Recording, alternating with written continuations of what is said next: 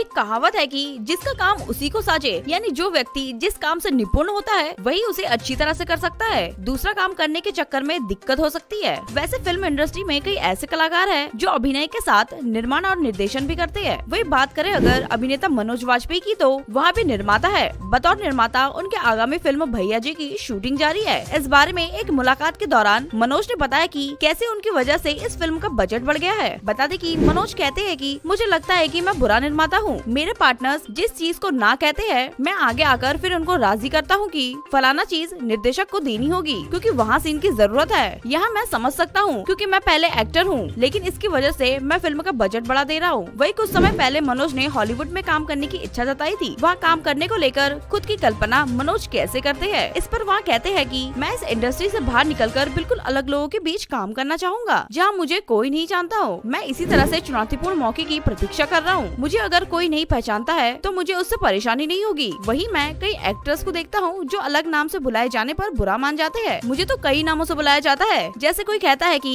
आशुतोष जी कैसे हो या मनोज तिवारी जी कैसे हो मुझे इससे कोई दिक्कत नहीं होती है ऐसे ही मूवी न्यूज ऐसी अपडेट रहने के लिए मूवी मसाला को अभी सब्सक्राइब करे